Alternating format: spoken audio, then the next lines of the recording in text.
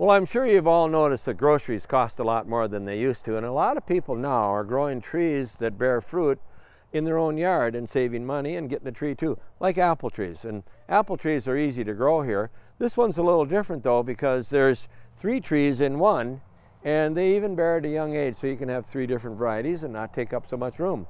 Pear trees are easy to grow too. A lot of people don't believe that, but pears are uh, very common here. This has a pair of pears on it, which reminds me that you need at least two different kinds of pears to pollinate, two different kinds of apples to pollinate each other. And even apricots are easy to grow here too.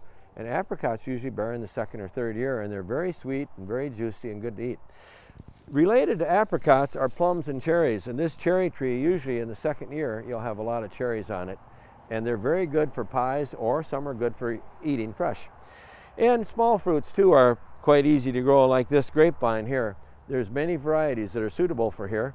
And there's other small fruits you can grow like raspberries, strawberries, currants, grapes, and gooseberries, and rhubarb.